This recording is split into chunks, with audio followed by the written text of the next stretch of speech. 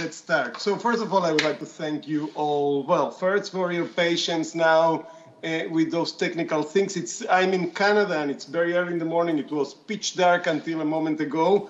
And so thank you for the organizers. I'm so exciting to be here. Last conference in Belgrade was one of the most interesting that I've been, and I'm thanks to this technology, I'm able to be there. Here in Canada, we have a different time, so we are already during the teaching term. I wouldn't have been able to be there otherwise. And while I was listening to the other papers, I was thinking that this panel works very well on the one hand, but on the other hand, it goes in the well, it still works very well, but it goes in the in the opposite direction in the sense that we start from the more recent, more complex, sophisticated, complex visions of uh, of non-territorial autonomy, and we go back to the beginning of it.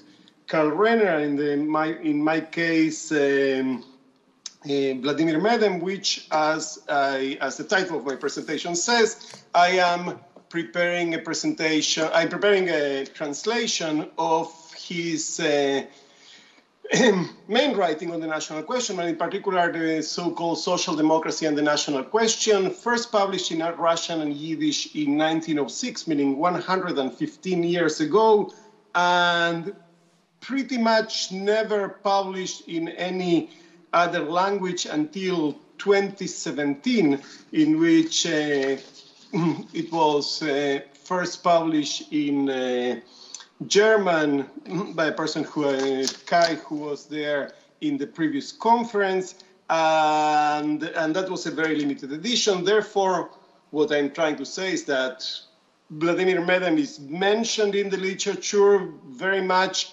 It is mentioned by those who opposed him because uh, um, Lenin and Stalin made a very clear object of building their own nationality pro, uh, program by opposing to that of uh, Medem and the Bund.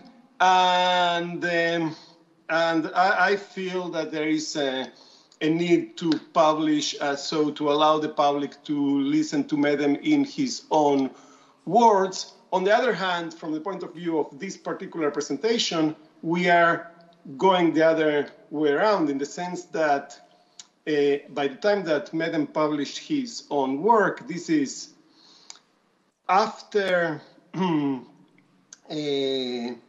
Renner, and in particular after the South Slav presentation of their program in the 1899 uh, Party Congress of the Gesamtpartei, which uh, um, Piet mentioned before, meaning the, the old uh, Austrian Socialist Party.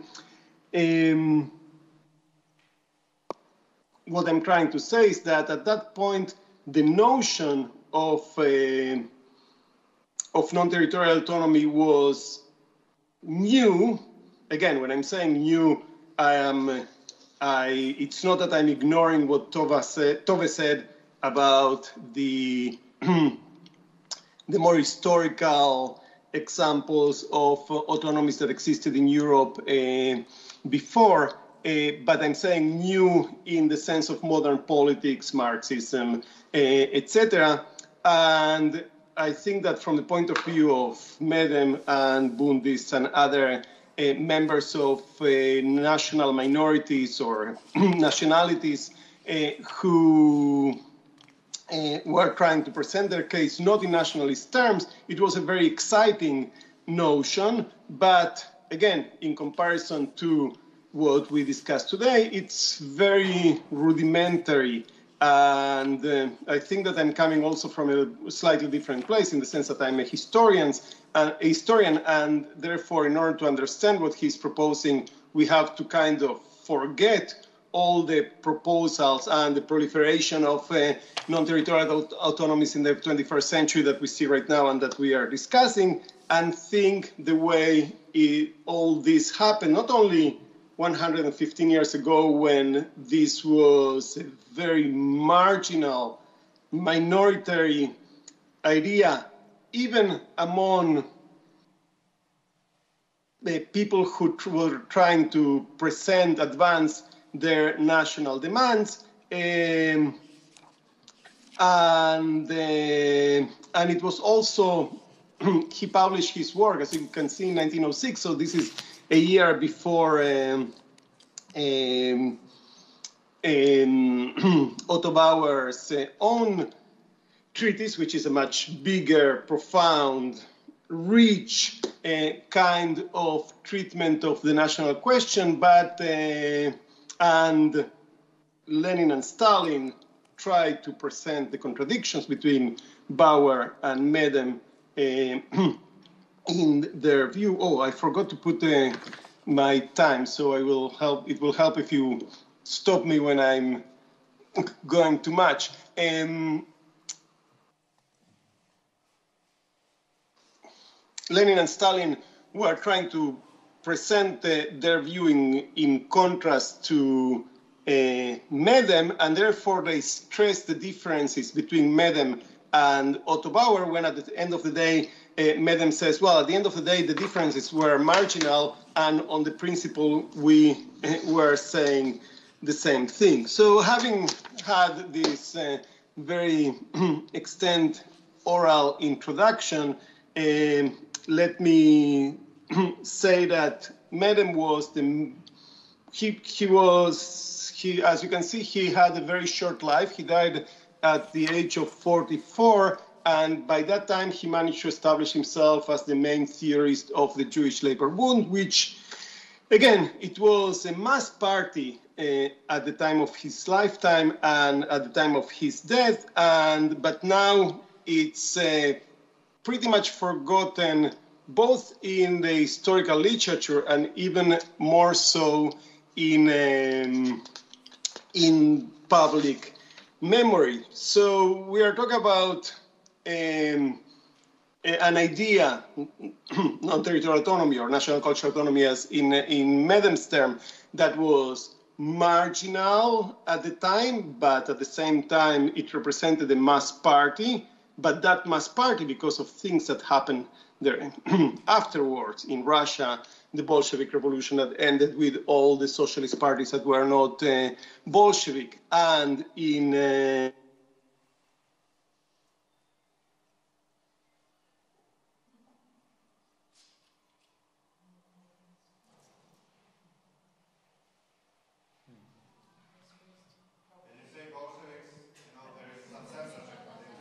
Yes.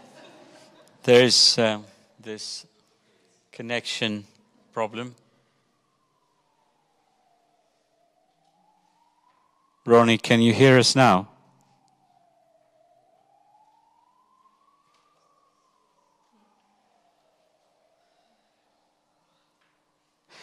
Um, let's try to re-establish the connection, if possible.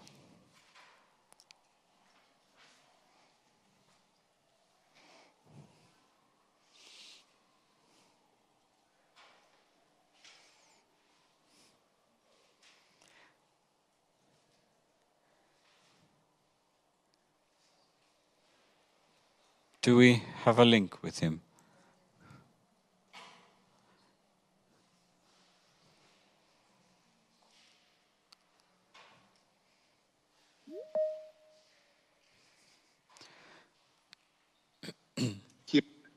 Do we have the link now re-established? Oh, yeah.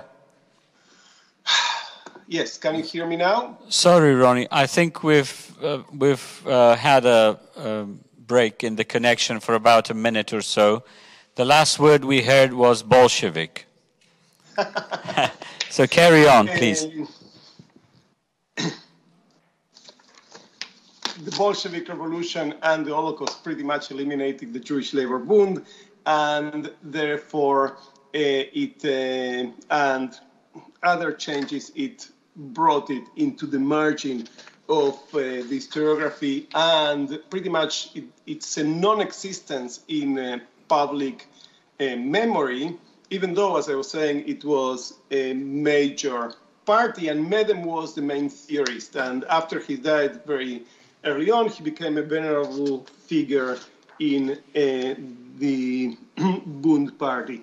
Anyway, the, the purpose of uh, Medem's work was to establish the idea of what he called national cultural autonomy. It is a form of non-territorial autonomy. It's uh, as a way to organize self-determination for nationalities, not just for Jews in the Russian Empire, but for uh, nationalities in general. And his starting point when he writes was how weak from the point of view, from the theoretical point of view, was the situation of discussion on the national question in general and in Marxist literature in uh, particular. And therefore, his intention was to do that, to establish the basis for a theoretical understanding of the national question.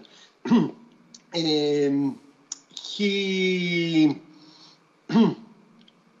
again, uh, pretty much, I, I think that. Uh, that what he wrote was very innovative at the time, and therefore, again, as a historian, I found it valuable. In a certain way, uh, as I said, the publication of uh, Otto Bauer a year later kind of supersedes what he says and bring it even more into a place of uh, obscurity. But let's see if I can bring back my document. Oh, I see. Now, you, can you see now the document? Yes. Thank you. Okay, uh, and you should be seeing it better than before. Is it? Well, you can still zoom it a bit more. oh, well. Um, so let me say, let me, I, I wrote a paper. I decided to ignore and not to read it for you, so you can do. Let me. I'm summarizing here the main points in. Uh, his view, and uh, and I will try to finish there. It's uh, almost two hours since the beginning of the session. I um, we can work from there. So first of all, what Medem does is separates the concept of nation and state, which again, I think that for the people sitting here, it's a kind of uh, an obvious separation, but it wasn't obvious at the time, and it wasn't obvious in particular for for people writing on the national question with all the stress of nationalists at the time to unify that concept of nation and state. Again, uh, in the context of the Austrian Empire and in the context of the Russian Empire, it was not the case, but um, but the demand was very much in that direction. And he stressed the need to separate territory from nation, again, it was something that was pretty much contested. So it was nice to have, after uh, Natalia's uh, presentation, the whole discussion with uh, about Slovenia, because it was, uh, it is still a current issue, but at the time it was precisely there where the whole discussion started with the presentation of this South Slav delegation to the Congress of the Socialist Party in 1899. And and the South Slav delegation did precisely that. They separated the notion of territory from a nation, but it was pretty much contested by other nations and national socialist groups within this, the Gesamtpartei, meaning the Czechs, Hungarians, etc., who actually demanded territorial self-determination. Even if it was within the context of a federation, they still demanded to have territorial self-determination. Therefore, point number three here uh, is ooh, is uh, where are we? I can.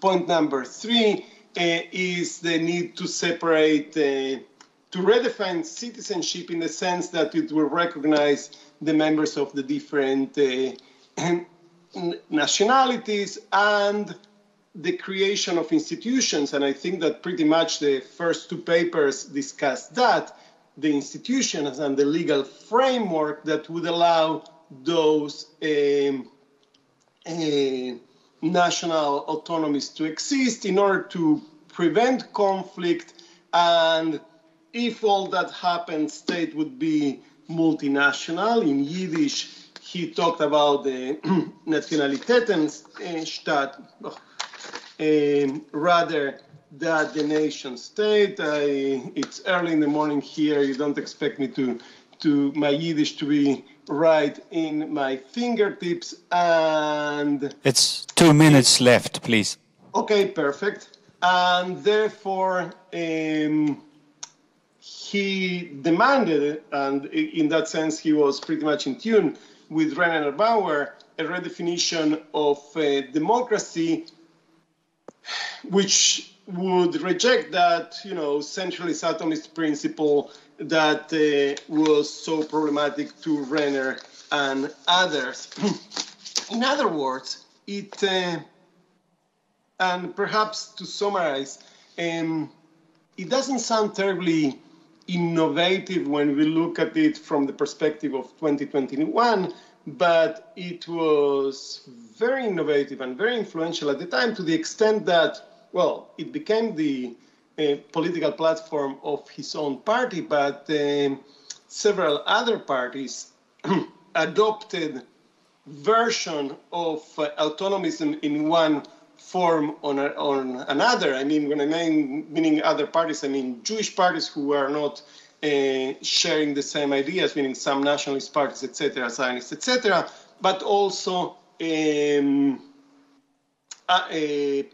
parties, social democratic parties of other nationalities in the context of uh, the Russian, uh, the Russian Tsarist Russia social democracy, the Georgians, etc., who started to demand that kind of uh, non-territorial autonomy. So um, I'm just, uh, what I'm trying to do is to call the attention to this moment in history, and I apologize if this came somehow chaotically, but I hope that it was clear enough. If it's not clear, please uh, ask your questions and I will try to make some sense of this. Thank you very much, Roni. Thank you for your presentation and bringing into light uh, Vladimir Medem's uh, contribution to the topic of non-territorial autonomy. Uh, have we got any questions for Roni? Gechtman, have we got any questions? Okay, there there seem to be. There's there's one question. Yes, thank you. I'm sorry I'm taking the floor so often.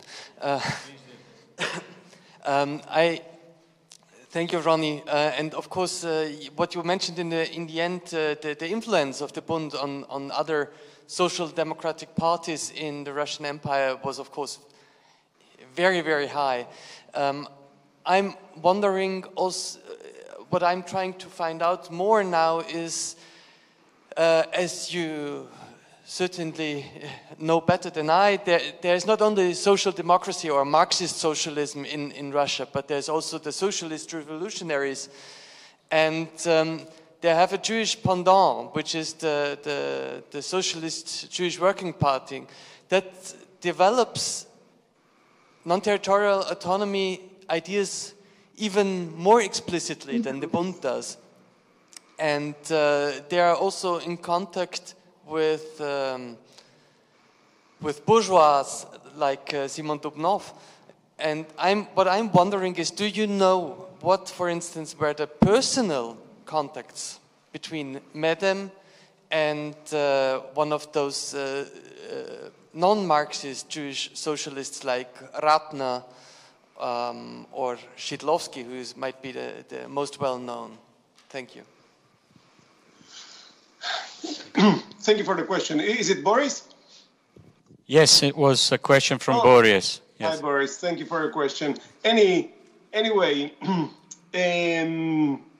Medem and the Bundists were very well aware of the work by Dubnov and Shidlovsky. Actually, um, when the whole discussion started, which was very close after 1899, the Congress of the Gesamtpartei in, in, in Austria, um, they the party press started to publish um, articles, and in particular those people in, within the party that were pushing into this direction, that show to that direction, including by Zhitlovsky, which, uh, again, in the very kind of partisan uh, culture of the time, it was an uncommon thing to do because Zhitlovsky was not a Marxist and therefore it was in general not okay to publish stuff by populists and, and members of other parties. But precise, but I think that what they were trying to do by publishing articles by Zhitlovsky is to say, well, look, we have here some interesting and related kind of conception and and at the end of the day, they were influential. Um, I don't know if specifically on Medem. I don't think that he mentions that in his memoirs, but certainly on the party decision to uh, choose uh, the an autonomist uh, way, he specifically refers to uh, Dubnov. And again, I I have a whole article on the, the Bund and Dubnov and how they relate to one another. And, uh, and it's interesting because at the superficial level, it looks like the Bund and Dubnov are very similar. And at the programmatic level, they, they do, they, they are similar. They do share some things, but Medem's criticism of Dubnov is that at the end of the day, he's a nationalist, meaning he, uh, well, and, and uh, he is uh, not a materialist in the sense that focus on the, uh, you know, the basic infrastructure of reality, but he focused on the world of ideas. And as such, he has a kind of an Hegelian conception in which the Jews play the role that Germans place in Hegel. Therefore, they represent an Aufhebung, a higher stage of uh, of um, of development. But as opposed to to Hegel, it's not the nation state which represent a higher stage, but actually the absence of state in Dubnov. And for Medem, all that is. Uh, is, you know, it's idealist rubbish to say it in Marxist term because uh, he rejects that. So, to, to, to summarize uh, and answering your question, he's very much aware, uh, Medem and the Bundists were very much aware of that, uh, but they try to take those ideas and put them in purely materialist Marxist terms and provide what they thought at the time was an innovative view of uh, representing it. And, uh, and again, I think that uh, it's pretty clear that uh, that uh, uh, Renner, so, sorry, Bauer, a year later, in his publication, he goes much further and deeper um, in that direction. But the ideas are basically very, very similar, with the clear exception of Jews themselves, which for Medem were one of those groups that deserves a, a, were a nationality that deserve a national autonomy, while uh, Bauer rejects that idea. And again, as I was trying to say, when uh, the the communication cut, Stalin and Lenin used that difference to make a criticism. Sorry, they went a little long. I hope okay. it makes sense. Yes, thank you very much. We very much appreciate the fact that very early in the morning, you from Canada, you're linking here in Budapest. But here in Budapest it's lunchtime, so I'm afraid we have to stop here. Uh, it was breakfast time. I have to go and have my breakfast. Yeah, it was an excellent session. I really uh, thank uh, all presenters, Tove, Natalia, Pete, and Roni, for their contribution to our session. Um, we are going to come back at 2 p.m. after lunch and continue with the next uh, session uh, that will be chaired by Tove Malloy. So come back at 2 o'clock. Is there any other announcement? I think the organizers would like to say uh, briefly something.